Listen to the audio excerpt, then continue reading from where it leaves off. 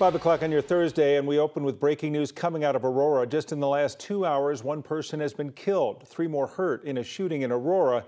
Again, it happened sometime around 3 o'clock in the area of Colfax in Jamaica. That's just east of Havana.